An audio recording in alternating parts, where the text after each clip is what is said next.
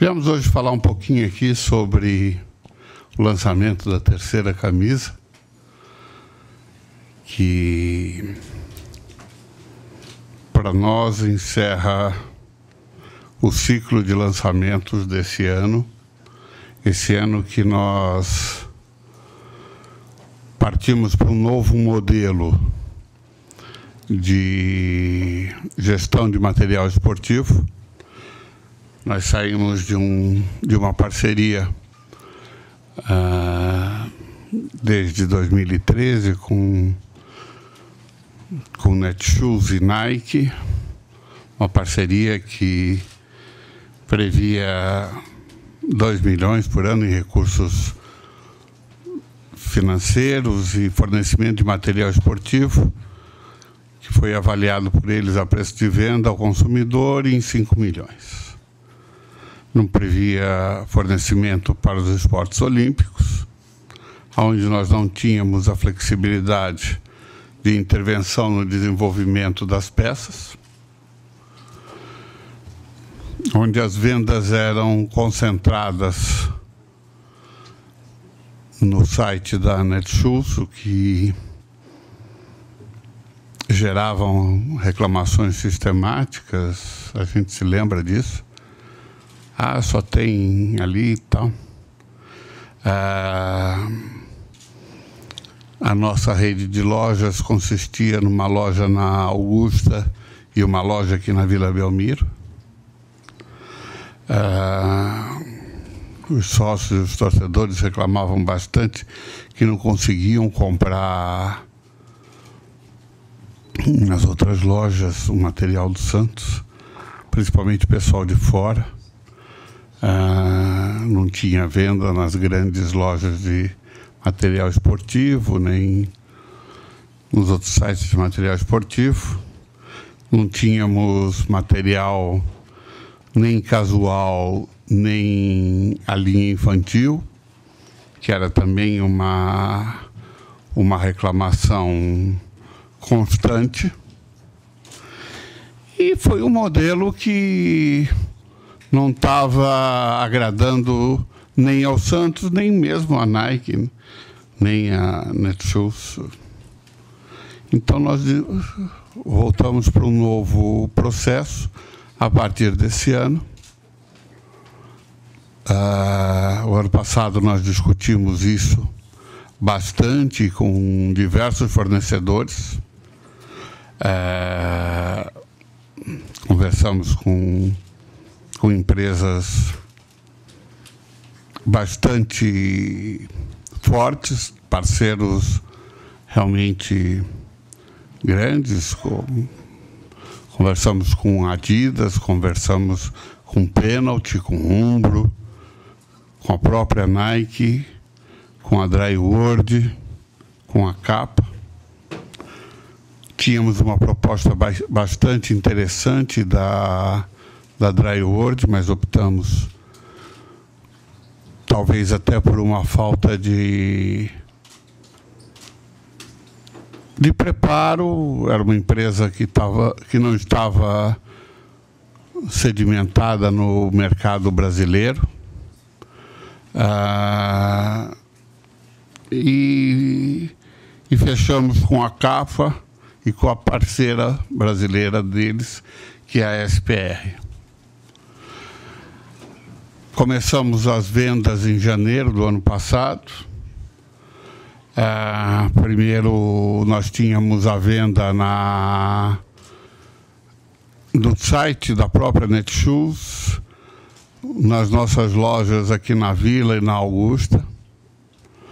Ah, começamos as negociações ah, com os grandes distribuidores de material esportivo.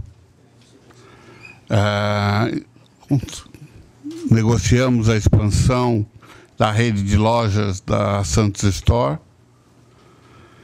E mesmo num momento difícil, que o Brasil vive atualmente, ainda vive, o projeto está sendo bem sucedido. Ah, mês passado nós já possuímos seis postos de venda seis pontos de vendas da Santos Store. Devemos encerrar 2016 com 10 pontos de venda. Ah, são 460 clientes ativos esse ano de atacado, 640 pontos de venda no país. Vendemos até o fim de agosto 116 mil peças, num faturamento a preço de venda aos revendedores, veja, não é preço de mercado final, é preço de venda para os, os atacadistas de, de mais de 11 milhões e meio de reais. Estimamos que a venda da camisa 3, que está sendo lançada hoje, uh, nós estimamos em vender 30 mil unidades. Nós já atingimos até hoje, antes do, do lançamento da, da camisa 3, uh, ah, e agradeço muito a parceria de todos os veículos que tiveram acesso a, a versões da camisa e terem mantido o sigilo até hoje. Uh, nós já vendemos 15 mil peças da camisa 3, uh, 15 mil peças antes do lançamento, o que significa uma venda de 4 milhões. Presidente Fernando Bonavides, bem-vindo. Vice-presidente do Conselho, Cássio Richter. Ah, vendemos na ordem de 4 milhões de reais dessa camisa número 3 que vai ser lançada hoje. Nós oferimos lucros com o projeto até 31 de agosto de 16. Isso é importante, que é até 31 de agosto de 16. De 3 milhões e 200 mil. Esperamos encerrar 2016 com lucro da ordem de 4 milhões e 800 mil reais. Ah, é um projeto que tomou um vulto que nós tínhamos planejado e estamos estruturando agora. Ah, vamos submeter ao Conselho Deliberativo uma que o projeto assuma a forma de uma unidade de negócios específica para para 17. Embora tenham dito que o modelo não estaria indo bem, muitas coisas se dizem, mas o modelo está indo bem sim. E o Santos tem sido procurado por outros grandes clubes que, que buscam igualar esse modelo, adotar esse mesmo modelo. Nós temos, como vocês sabem, um relacionamento pessoal entre dirigentes de outros clubes muito próximos e temos sido procurados por eles que estudam adotar o mesmo modelo que o Santos está adotando. Eu sei que vocês também querem saber sobre outros assuntos, mas eu vim falar mais sobre o uniforme 3, sobre o lançamento do uniforme 3, sobre a modelo de negócios do Santos na venda de camisa, mas não vou me furtar de falar dos outros assuntos. O Globo Esporte já subiu uma matéria sobre o nosso novo patrocínio master. O Samir Carvalho também me telefonou perguntando sobre o novo patrocínio master. Uh, estou aberto para conversar com vocês também sobre isso. E aí a gente conversa até o, o Juan cortar, a gente vai conversando, porque quem corta é ele, não sou eu, tá? É, a gente vai conversando o que vocês quiserem perguntar. Bruno Gilfrida, por favor. Tudo bem, presidente? Globoesporte.com. O patrocínio faz parte do uniforme, né? Então eu queria que faz. você falasse sobre é. o patrocínio com a Caixa até o fim do ano. É, nós fechamos com a Caixa Econômica Federal até o fim do ano. Um, e estamos ainda discutindo 2017. Ah, não íamos, não tinha por que perdermos tempo, esse tempo final de 2016. Ah, estivemos ah, negociando com a Caixa. Ah, é uma negociação que a gente vem vindo faz tempo. Hoje, o Santos, com as certidões, com a gestão equilibrada, nós pudemos voltar a podermos negociar um patrocínio com a Caixa Econômica. Isso só foi possível porque hoje nós temos as certidões negativas, uh, coisa que não tínhamos já há bastante tempo no Santos Futebol Clube, desde 2013, 12, 13, uh, nós não tínhamos as certidões negativas.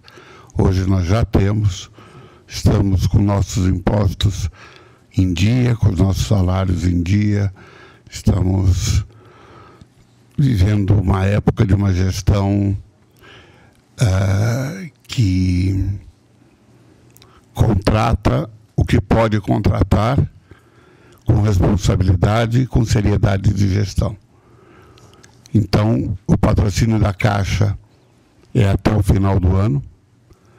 Ah, começaremos nos próximos dias a discutir 2017. Esperamos que essa parceria Santos e Caixa seja uma parceria duradoura de alguns anos e discutida anualmente porque é assim que o negócio é feito. Presidente, boa tarde. Gostaria de saber se é possível comparar, por exemplo, esse patrocínio da Caixa ao patrocínio de outros clubes paulistas, se os valores chegam a ser parecidos. Além disso, gostaria de entender por que, que esse patrocínio está num prazo tão curto, é uma diferença de valores, o que aconteceu para não ser fechado para o ano que vem já e acertar isso de uma vez. Uma terceira, quais outros grandes clubes que procuraram o Santos para buscar esse know-how do modelo? Bom, vou começar pelo último, porque é uma resposta mais simples. Eu não vou divulgar o nome dos outros clubes, até porque não tenho essa autoridade, cada um que fale por si. Ah, nós não somos uma empresa de consultoria. As empresas de consultoria divulgam seus clientes prospectados. No nosso caso, é mais uma orientação a nível de boa relação que temos. Ah, os outros clubes paulista, paulistas são só o Corinthians. Ah, é o, só o Corinthians tem patrocínio da Caixa do Estado de São Paulo. É, é veja, é, não é nem abaixo nem acima, é um valor de mercado para um final de ano. Nós temos uh, outubro, novembro, dezembro já tem um comecinho. Uh, valores vocês vão saber quando a Caixa Econômica publicar. Uh, vão saber, da mesma forma que vocês souberam, através do, da divulgação interna da Caixa, uh, e hoje vocês saberiam de qualquer forma, nós temos por norma não comentar valores. Não vou comentar o da Caixa também, embora vocês uh, vão ter quando a Caixa publica todos os contratos no Diário Oficial. Então, quando ela publicar, vocês, vocês vão saber. Eu não, eu não avanço o sinal nessa parte. Então, as perguntas que forem relativas a questões contratuais, seja do patrocínio ou seja de outras coisas, uh, são assuntos de contrato, eu não comento. Presidente, aqui, por favor. Existe alguma competição? Ah, desculpa. Sobre a questão do. Por que não fechou até o final do Porque nesse momento estava se fechando até o final desse ano, uh, dentro do orçamento da Caixa, para o, até o fim do ano. Agora começamos a negociar o ano que vem, nós e os outros clubes também. Agora sim. Existe alguma competição específica em que, é, ou algum momento específico em que essa camisa vai ser usada, ou a ideia é usar Não. quanto mais até o fim do ano? Se já vai ser usada na partida contra o Benfica? Vai ser usada já na partida contra o Fluminense. Ah, é o patrocínio master ah, para todos os jogos não tem não tem nada. Nós estamos, estamos disputando dois torneios hoje. Estamos disputando o Campeonato Brasileiro e Copa do Brasil. Nós usaremos esse patrocínio também na base, também no feminino e também no goalball. Se eu não me engano, é isso. Uh, são essas quatro modalidades, perdão, essas quatro categorias que nós usaremos. Presidente, é, fugindo um pouco da questão uniforme, o Queno aceitou a proposta do Santos? O Queno e o Santos estão negociando. Nós só falamos de negócio quando tiver terminado. Chato, né, Bruno? Não, eu. É, também fugindo um pouco do, do assunto da, da camisa, peço a gente. Desculpa, desculpa. Você está no seu direito, na sua obrigação de perguntar. Chato sou eu que não respondi. Vai você. Não. Hoje o Santos não precisaria delas, mas como o senhor recebeu a notícia das duas vagas a mais na Libertadores? Recebi como reconhecimento de um trabalho que vem sendo exercido pelo Reinaldo Carneiro Bastos. Recebi como uma força do Brasil na Comebol.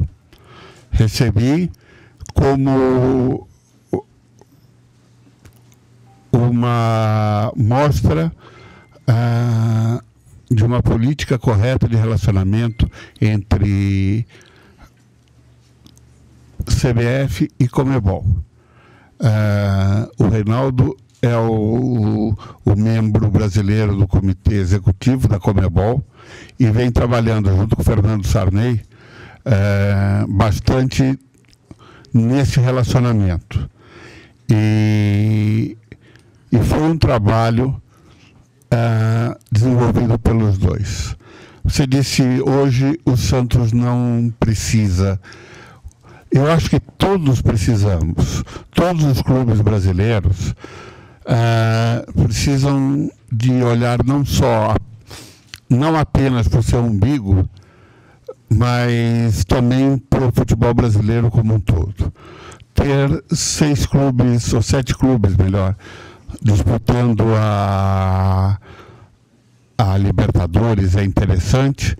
Disputar a Libertadores ao correr da temporada é interessante. É interessante nós podermos nos assemelharmos mais ao modelo uh, vitorioso da, da Euro, da Champions League. Uh, ô Fabiano, você arrumaria para gente aqui um pouquinho d'água, porque a minha garganta aqui só de responder a pergunta do, do Bruno secou a minha garganta.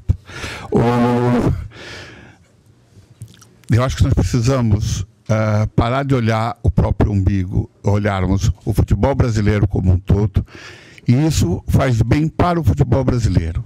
Isso mexe Ah, eu estava conversando até agora há pouco com o presidente do conselho, ah, porque até o fim do mês nós temos que entregar a proposta orçamentária de 2017, e eu estava comentando com ele que nós vamos ter que fazer modificações em função dessa mudança do calendário.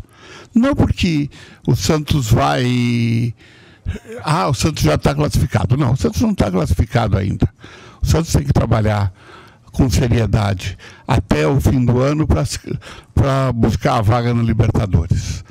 Mas o Santos tem que se preparar e, se, e prever para que tenhamos um elenco maior, para que tenhamos jogadores para disputar um torneio durante todo o ano. Ah, e isso tudo ah, faz parte de um planejamento. Eu estava conversando também hoje com o Dagoberto, conversei com o professor Dorival, ah, conversei com o doutor Conforte. Ah, nós temos que, a partir dessa confirmação, passar a rever o planejamento de 2017, a ter um planejamento mais amplo em função dessas mudanças. O senhor gostou da, da, forma como foi feita de duas vagas no Brasileirão? Ou o senhor acha que podia ser, por exemplo, o vice da Copa do Brasil? Eu acho que são duas formas de, de trabalharmos. Eu não vejo. Obrigado, Conforte. Uh, eu não vejo uma grande.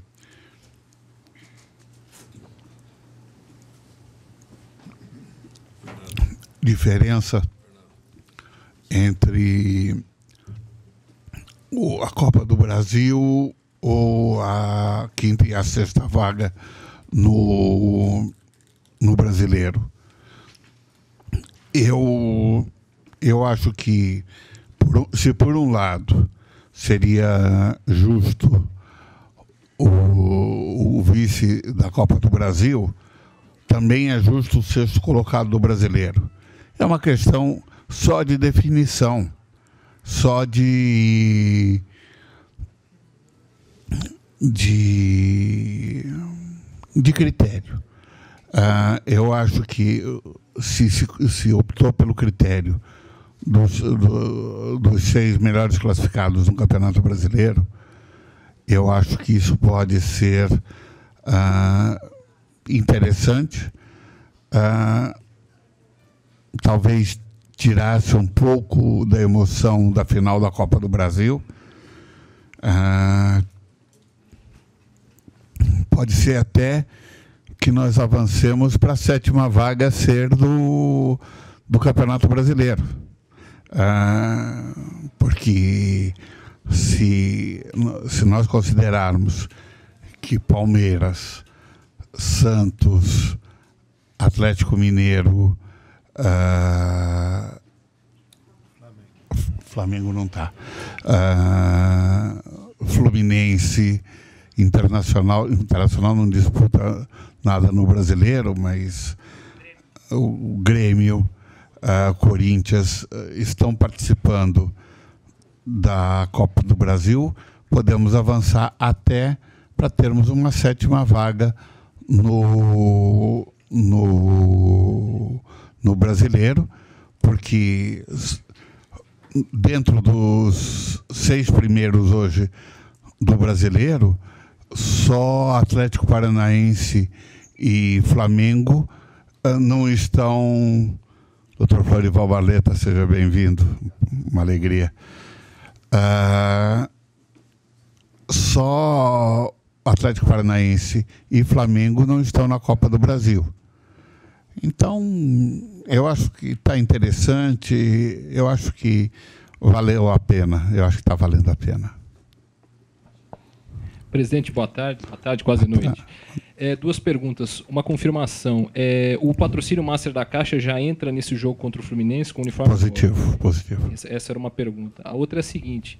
É, como é que o senhor recebeu, primeiro, saber se procede, a informação que alguns conselheiros enviaram uma carta para o senhor é, manifestando interesse na volta do Vanderlei Luxemburgo. Como é que o senhor recebeu essa, essa vontade e, como é que, e até que ponto o senhor leva em conta essa manifestação, se é que ela é verdadeira? Isso é lenda urbana, Ted. Uh, não recebi carta nenhuma. Uh, não tenho o menor uh, interesse, não temos, eu digo não tenho e digo não temos, o menor interesse de pensar trocar de treinador. sabe, tá tudo bem. Não tem porquê se pensar nisso. Você lembra, Ted, na 14 rodada do ano passado, o Santos na, na zona do rebaixamento? Você lembra disso não? O Santos tinha perdido de 4 a 0 do Goiás, lá em Goiás. 4 a 1. É, esqueci desse gol. É, 4 a 1. É, quando estava 4 a 0 eu já estava tão desolado. É, e aí veio o, Dorival. Veio o Dorival e desde a chegada do Dorival, uh, nós chegamos bem no brasileiro, nós chegamos na final da Copa do Brasil, nós ganhamos o Paulista, estamos em quarto lugar no no no Brasileirão e estamos disputando a Copa do Brasil. Gente, não é hora de trocar. Não é hora de começar a plantar notícia fria. Não é hora de, sabe, essas coisas todas, essas coisas todas, essas invenções todas, e são invenções. Eu não recebi nenhuma carta de conselheiro nenhum, tá? Uh, isso é, é invencionice. Vocês têm meu telefone, uh, todos vocês, quando ligam, eu atendo. Outro dia, cadê ele? Faltou. O Russo sempre falta nas coletivas, né? É...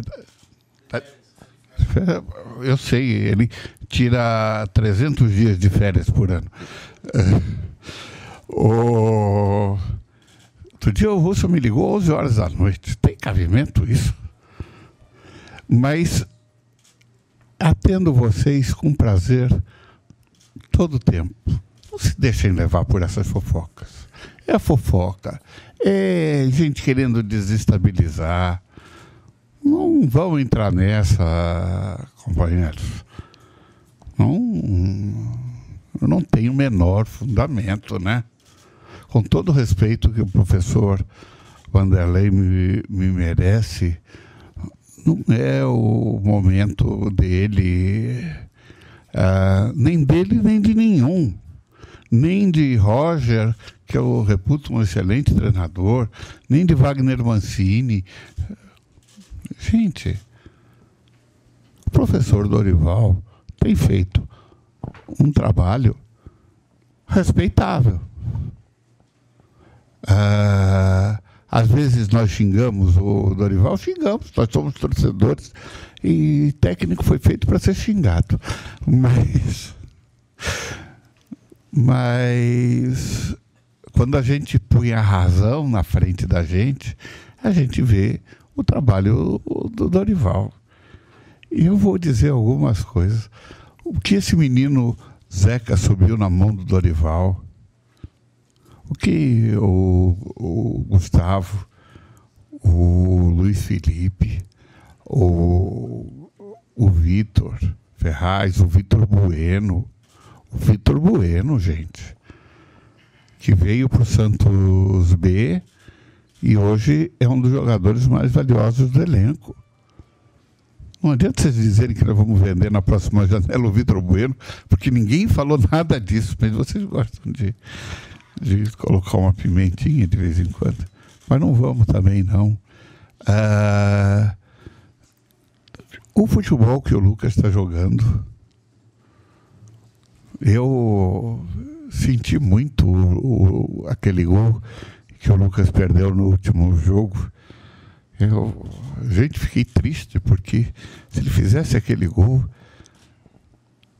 era um gol de que merecia ali no, no setor ali de entrada aqui do estádio mais uma placa. Foi uma coisa muito bonita. Gente, trabalho do professor Dorival. Respondido, Ted? Um pouco longo, mas respondi. É. Presidente, o, você acha que esse tipo de coisa atrapalha dentro do, do trabalho do Dorival? É, ele está sofrendo essa pressão? Você chegou a conversar com ele? E se é uma coisa inventada, qual seria o objetivo? O senhor faz ideia é, se isso tem a ver com, já com o processo político do ano que vem? Se é coisa é, plantada por algum inimigo político seu? Se tem a ver com com outra coisa. Qual é a visão que o senhor tem desse assunto e se isso atrapalha, de fato, dentro do, do elenco do Santos? Se o Dorival já conversou com você? Conversei com o Dorival hoje. Estive lá no CT. Ah, olha, eu não acredito em coisa plantada por inimigo político. Se eu tiver algum inimigo político aqui dentro do Santos, esse inimigo político também é santista. E eu não acredito que nenhum Santista de verdade faça alguma coisa para prejudicar o Santos. Quem é Santista não faz isso. E se tiver alguém politicamente interessado no Santos é porque é Santista. E Santista não faz coisa para prejudicar o, o clube. Eu não acredito que seja nada político, porque nenhum movimento político torceria contra o Santos. Eu não acredito em torcida contra. Não sei, não sei. Ah, talvez trabalho de algum adversário futebolístico. Quando o Santos. Normalmente, quando o Santos chega a um estágio bom, a uma final. Vocês lembram ano passado, quando, quando começaram a, a vender o Ricardo Oliveira, quando começaram a vender, venderam todo mundo. Ah, o Palmeiras tinha comprado não sei quantos jogadores nossos, ah, o Corinthians, o Atlético de Madrid, a Inglaterra, a China. Mas isso acontece, é normal. Quando o Santos está bem, sempre inventam essas coisas. Mas eu não, não acredito que seja um movimento interno do Santos, deve ser algum movimento externo. Ou não, sei lá. Pois não, Samir. O presidente, o, a Caixa me, me, enviou uma nota, né? Enviou uma nota ao UOL dizendo que. De dólar, de real? é, dizendo que não é patrocínio e termo, termo de uso de marca. A Caixa está sendo chata ou tem alguma diferença? Não sei. Foi a Caixa que mandou a nota, você pergunta para a Caixa. Eu não sei. Não... É patrocínio? É patrocínio. E a segunda pergunta, pode? Sobre o Alex, se é, até quando vai essa novela Alex?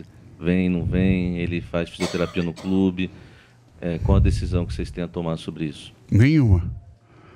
É, precisamos de zagueiros? Precisamos. É, Para esse ano, não. Para esse ano, quem está, está. Quem não está, não está. Já encerraram as inscrições.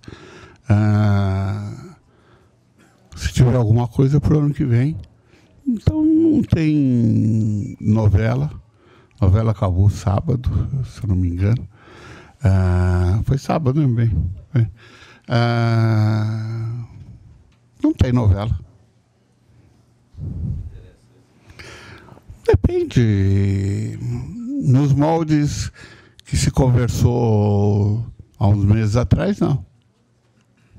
Presidente, vai encerrar a sua entrevista coletiva. Já foi rapidinho, né, Rua? Interativo. Presidente, é, são duas perguntas também que elas, elas, se completam.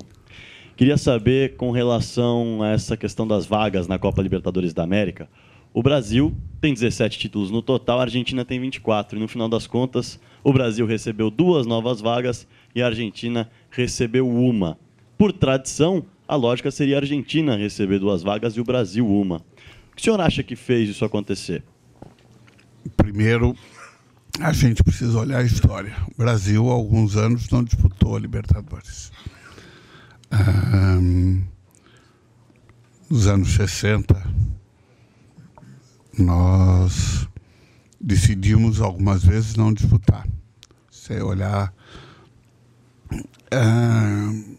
Segundo, o tamanho e o número de clubes no Brasil é bem diferente do número de clubes na Argentina. Em terceiro, é uma decisão aonde a força política do Brasil se fez prevalecer. Então, uh, não se verifica isso somente por número de títulos, mas como uma conjuntura geral.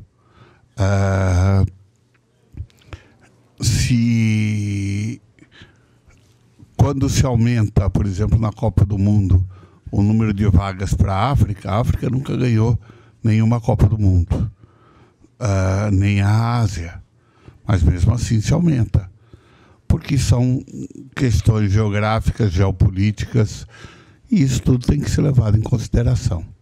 Então a gente não pode levar somente uma variável para definir quem tem mais vagas ou quem tem menos vagas. E mais uma vez eu quero cumprimentar o trabalho que foi feito pelo Reinaldo Carneiro Bastos dentro do Comitê Executivo da, da Comebol. E ainda, então, sobre o trabalho do Reinaldo Carneiro Bastos, o senhor elogiou e disse, é uma adaptação à questão da Euro, da Champions e tudo mais. É, o Brasil, com o trabalho, por exemplo, do Reinaldo Carneiro Bastos, que o senhor acabou de elogiar, está se aproximando de buscar um calendário europeu, que seria uma revolução e até importante em termos de mercado para os clubes brasileiros? eu acho importante alguma coisa que eu pessoalmente defendo. Uh, não é fácil uh, essa mudança. Essa mudança depende de algumas questões, inclusive internas nossas, uh, inclusive de televisão, de, de se discutir o calendário como um todo eu defendo um calendário uh, universal, um calendário igual uh, em todo o mundo. Eu acho que, por outro lado, eu ouvi hoje um comentário que eu concordo bastante, uh, que a janela no Brasil, pelo menos, deve terminar junto com a janela europeia. Uh, é uma forma também de aproximar os calendários. Eu acho que é um trabalho que a gente tem que avançar, é uma mudança que não adianta você fazer só em termos de Brasil, temos que fazer em termos de América do Sul e até de América. Eu acho que nós temos que caminhar também para uma unificação das Américas. É um trabalho longo a ser feito, é um trabalho bastante difícil, uh, mas eu acho que nós podemos avançar com muito boa vontade. Veja, mudar o calendário, por exemplo, com hoje. Uh, a Libertadores começando em janeiro ou fevereiro e terminando em novembro, uh, como é que você muda o calendário? Você teria que mudar o todo. Você tem que pensar e refletir sobre a questão do calendário europeu, cuja janela forte é, em, é a janela no verão deles. Uh, e a nossa fica truncada. Então, normalmente a gente perde jogadores e não tem como repor.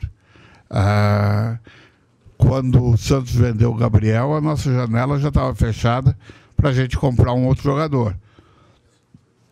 Então, tudo isso tem que ser refletido, reformulado. Os clubes têm que discutir isso com a CBF.